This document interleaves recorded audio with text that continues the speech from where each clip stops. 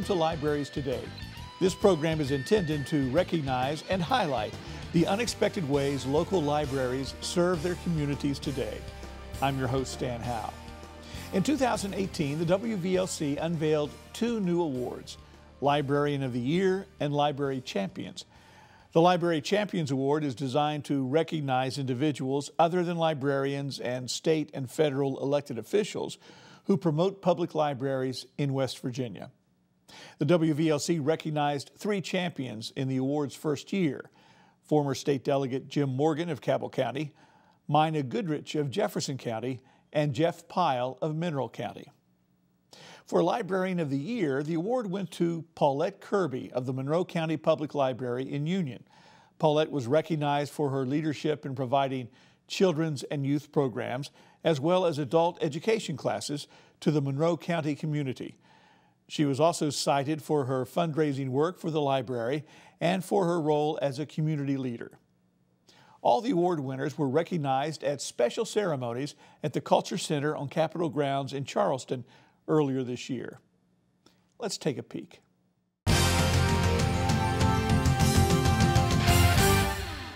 Every day, and I probably not, don't have to tell you all this, but more than 20,000 people of all ages visit a West Virginia Public Library. That comes to more than 5 million visits annually. And libraries are in the business of helping people learn, learn about themselves, learn how to play golf, learn about others, and learn about the world they live in. So that business requires extraordinary support on the national, on the state, and on the local levels support that is often unrecognized. And the awards we're presenting tonight are intended to change that situation. In November, the Library Commissioners enthusiastically endorsed the idea of presenting awards to library champions and a librarian of the year. In early December, WVLC invited the library community to submit nominations. The Library Champions Award is designed to recognize individuals such as trustees, local officials, volunteers, and patrons who have made exceptional contributions to public libraries in West Virginia in the past year. Librarian of the Year honors a single employee of a public library for his or her contributions to the library community. Thank you to everyone who submitted a nomination. Thank you to the West Virginia Library Association that graciously agreed, to include this awards ceremony at this annual Library Day at the legislature event. Betty Gano, chair of the West Virginia Library Commission, will present the 2018 Library Champions and Library Librarian of the Year awards. Good evening. the first one is a library champion. His name is Jeff Pyle. He is a trustee at Keyser Mineral County Public Library and was nominated by Connie Sutton, the director of the Keyser Mineral County Public Library.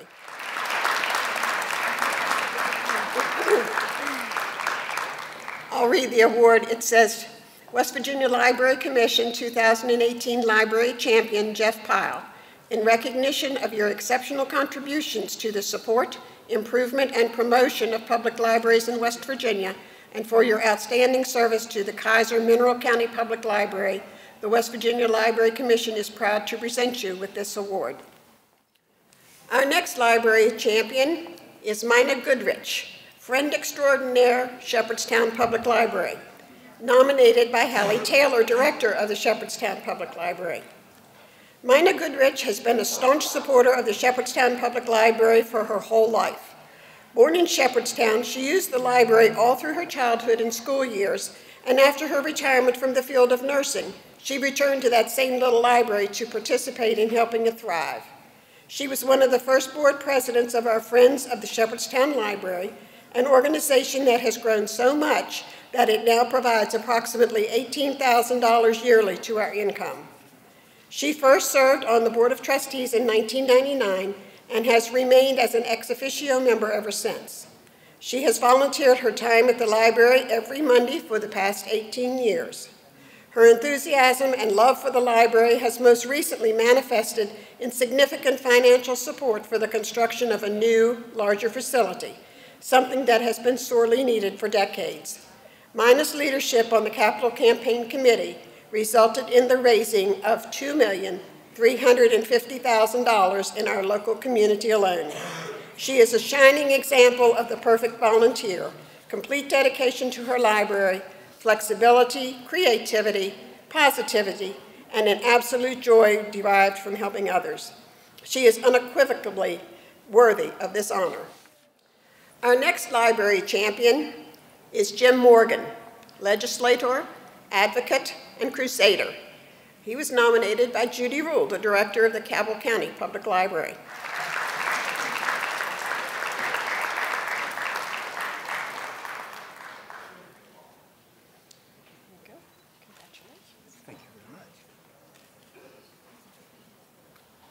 Thank you all very much. When you have Judy Rule as your head librarian, there is nothing else to do but do what she asks. I appreciate this award.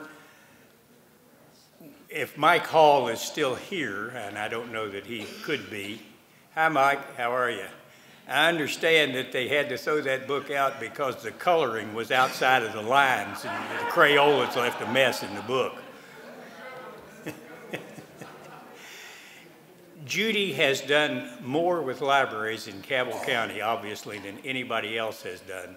And our library system, I think, is one to be admired in the county, and as far as that goes, in the state and in the nation. And Judy is working hard right now to build another library. She will not be happy as long as she has nothing to do. So I will help her as much as I can. As a county commissioner, we are limited and for you legislators in the room, remember to take care of the counties while you do this legislation this time. Thank you very much.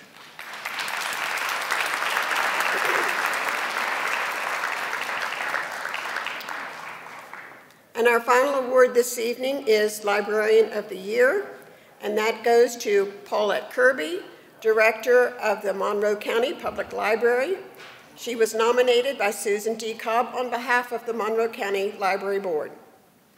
The Monroe County Library Board wishes to nominate our very own Paulette Kirby for the Librarian of the Year. Paulette meets the public well and provides a warm and friendly face to the patrons. She promotes the library at every opportunity. For example, she attended Monroe County's Autumn Harvest Festival and set up a booth advertising the library and its functions. In addition, she took pictures of families holding a sign saying, I love my library. Parents and children were delighted with the pictures and information about the library. She invited Sharyn McCrumb to our annual open house in December. Ms. McCrumb accepted, and attendance was phenomenal. Ms. McCrumb sold out all her books, refreshments were served, and again, all this was coordinated by our librarian. She has created many events for children, she has had activities for them at holiday times. She initiated a summer reading program for children. She worked with other local groups to start an Imagination Library program in Monroe County. She advertises these activities by making her own flyers, pamphlets, etc., and distributing them. Paulette has proven to be a very valuable asset to the community as well as the library. She coordinates well with other organizations in providing activities, meeting space, programs, and offers her assistance as needed. She attends many of the civic organization's meetings to promote library functions, events, and classes. Paulette works with adult education in many aspects, genealogy, computer classes, bridge classes, yoga and exercise classes. She strives to make the public and patrons aware of all the activities and classes that the library offers. In addition to all of this, she helps fundraise for the library by having book sales on a regular basis. She also has had scholastic books available for purchase with part of the proceeds going to the library. She keeps a donation jar on the front desk. Paulette is the type of person that sees what needs to be done and she does it. Realizing there was a need for passport application access in the county, she became qualified to issue passports. This not only provides a service that was needed and income for the library, it brings in some people who might otherwise not have come to the library. Paulette is energetic and has accomplished so much in the library in the two and a half years she has been here. We are so proud of her. We feel she deserves to be recognized for all her effort, work, and success in making the Monroe County Library a very visible and inviting place. Paulette, would you come forward?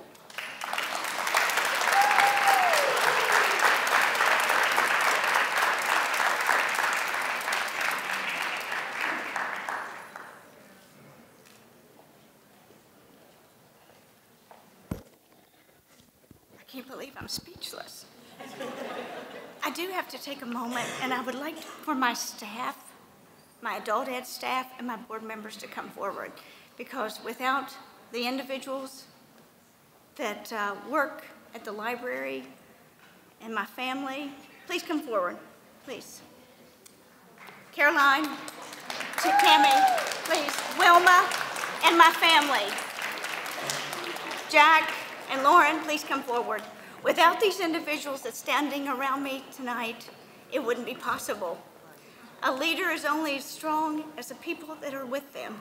And here are the individuals that make my life wonderful every day. The support of my family, the love of my family, the direction of the West Virginia Library Commission and my board, and the volunteers and the staff that make everything happen every day. Thank you.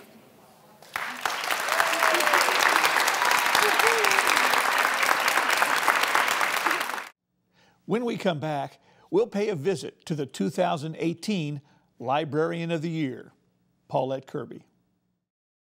Welcome to Understood.org, a free online resource for parents of kids with learning and attention issues, with personalized recommendations, tools, and expert advice.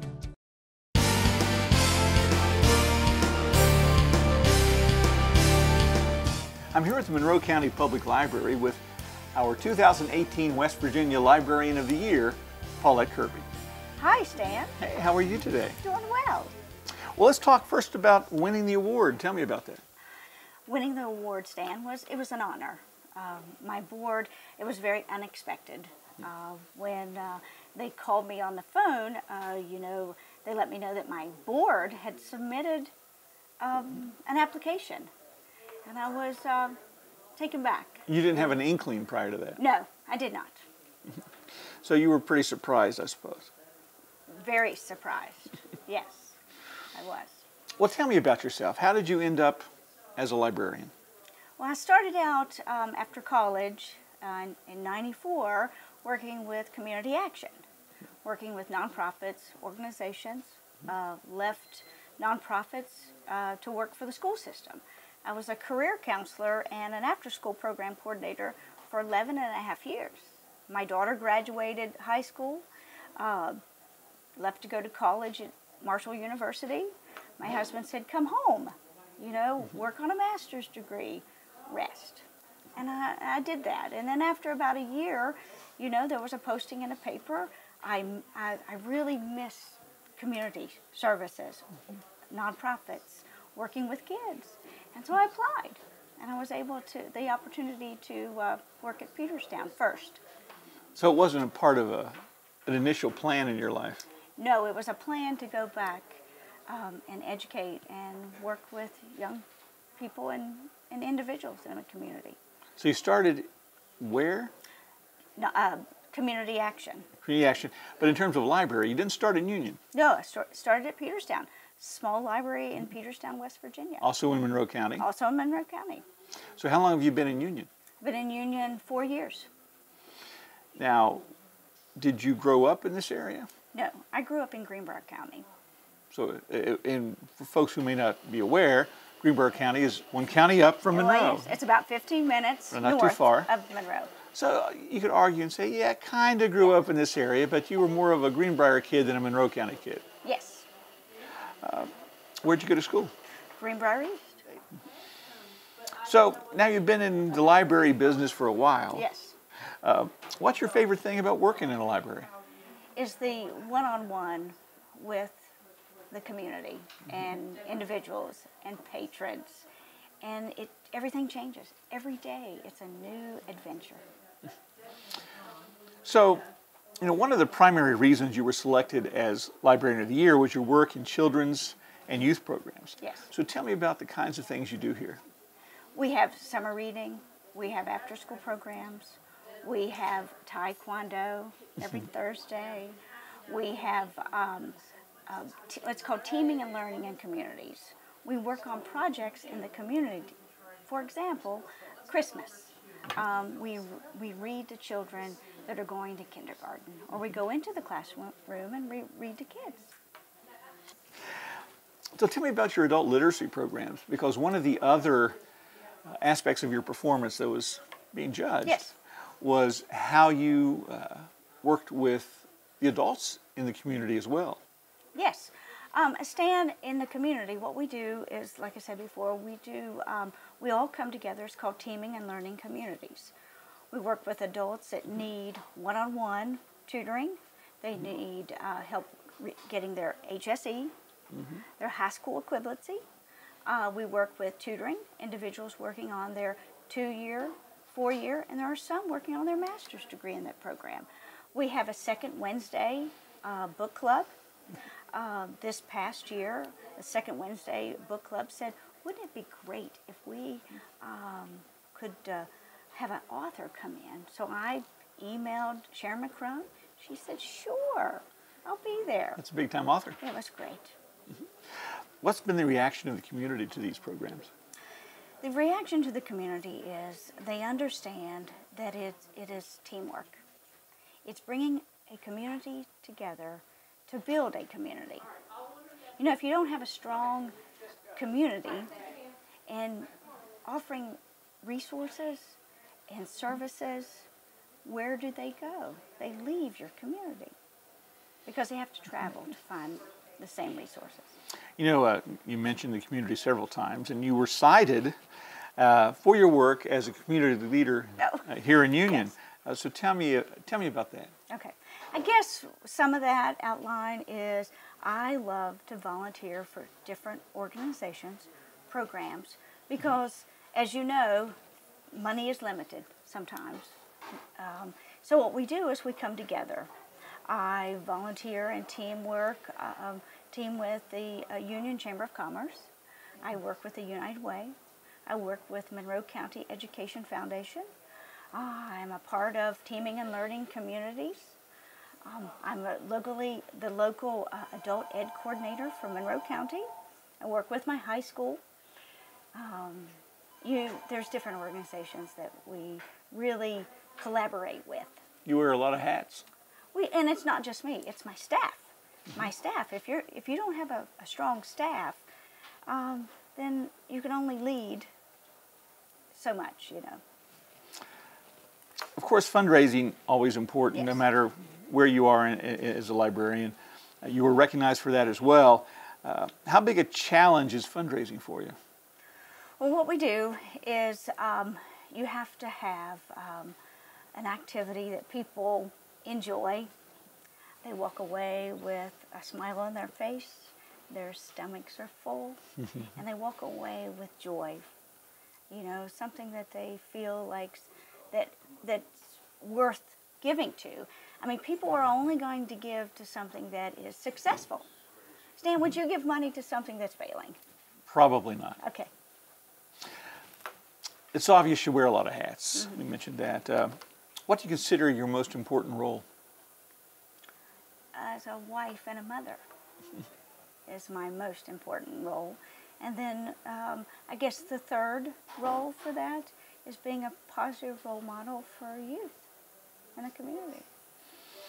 Now, how important is the library in a small community like Union? The library here in Monroe County is a hub. I know the Library Commission had uh, um, sent an email out wanting to know how many organizations use the library over a one year period.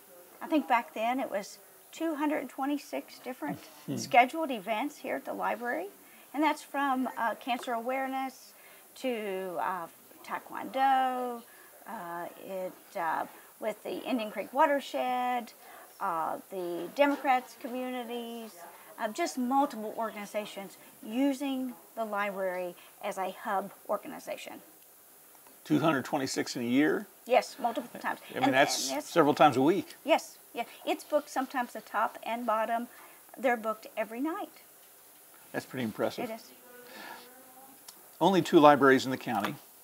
Library ends up serving, I guess, a much bigger area than just Union. Yes. So you ha- how do you how do you reach out to the rest of the county to let people I know the folks in Union that know you're here, right? Yes. So how do you reach out to the rest of the county? Well, I think through word of mouth and for, from positive outcomes. Mm-hmm. You know, being a part of organizations and teaming with organizations to make things happen, people, positive word spreads mm-hmm. and information. Is that is it a difficult thing to do to try to to reach out? I don't think so. Um, as long as you're reaching out and you're helping as you reach out, you know, you, you don't always reach out once. You know, you have to continue to reach out. And then people say, you know, the library and union, they have those resources. What inspires you most as a librarian? Um, ex- and ex- inspires me.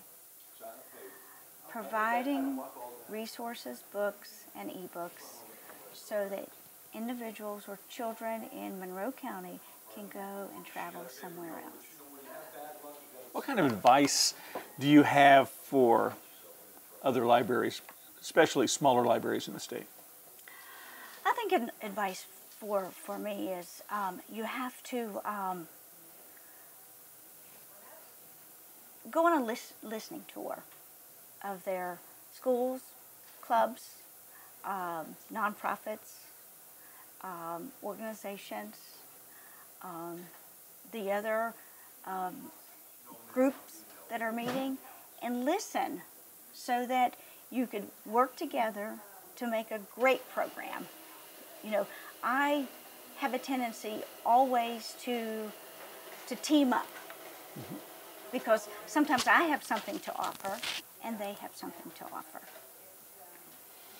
Thanks, Paulette.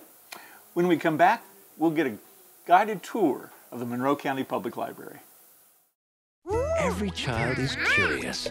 George, look what I found. Turn their curiosity into a lifelong love of learning. Create a curious reader. This is super bedtime reading. Share a book together today. Visit read.gov.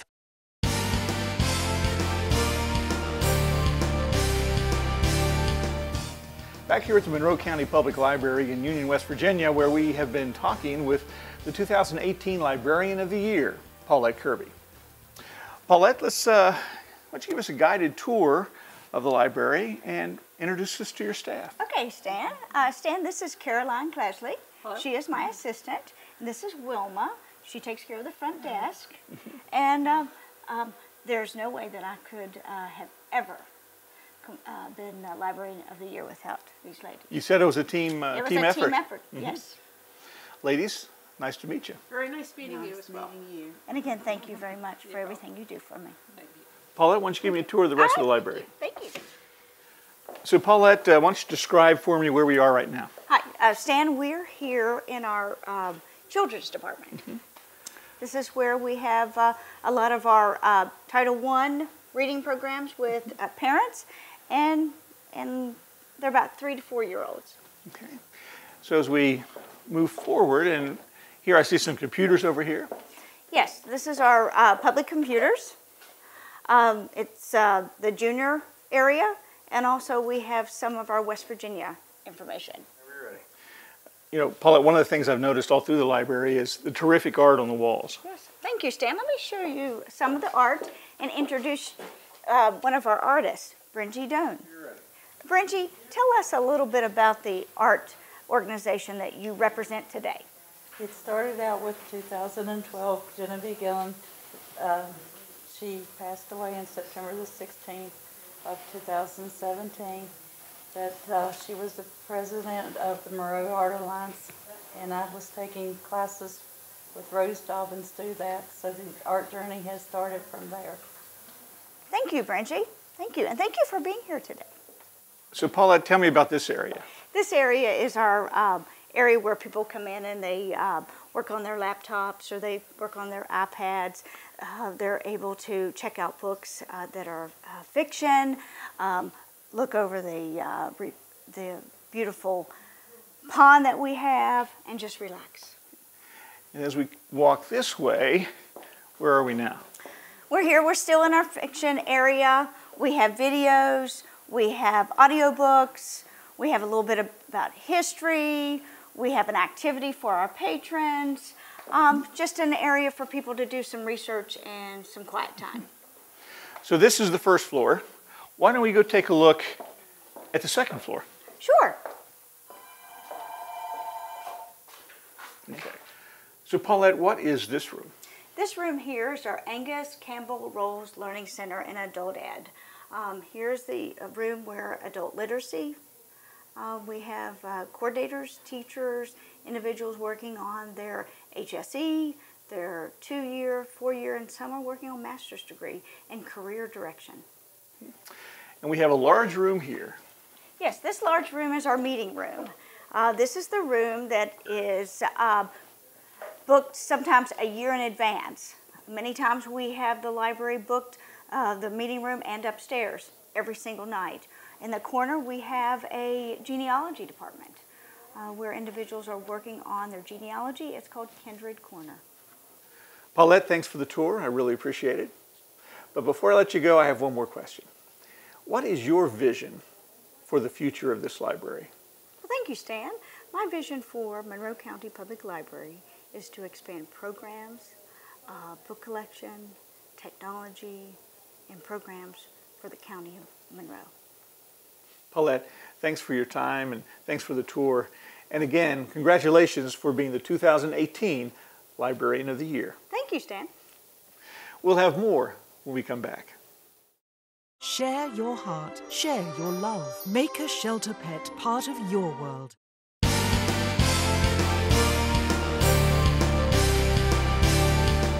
The 2019 WVLC Awards are right around the corner. Nominations will be accepted beginning October 1st, 2018 for the 2019 Librarian of the Year and Library Champions Awards. The Library Champions Award is designed to recognize individuals such as trustees, local officials, volunteers, and patrons who have made exceptional contributions to public libraries in West Virginia in the past year. Up to five nominees will be selected as a library champion. Employees of libraries and current state and federal elected officials are not eligible for this award. Librarian of the Year will honor a single employee of a public library for his or her contributions to the library community in 2018. To be considered, the nominee must be a current employee of a West Virginia public library. Please consider any nominations very carefully and help us recognize those who contributed in a very special way to the library community in the state this past year. Be sure to provide plenty of specific examples of how your nominee positively affected libraries in 2018. Your narrative explaining your nominee's contributions is the basis for selecting the award winners. For information on how to nominate someone, just visit the WVLC website at librarycommission.wv.gov backslash news. I'd like to thank Paulette Kirby for being on today's show, a worthy recipient of the WVLC's first Librarian of the Year Award. I'm Stan Howe. Thanks for watching. We'll see you next time on Libraries Today.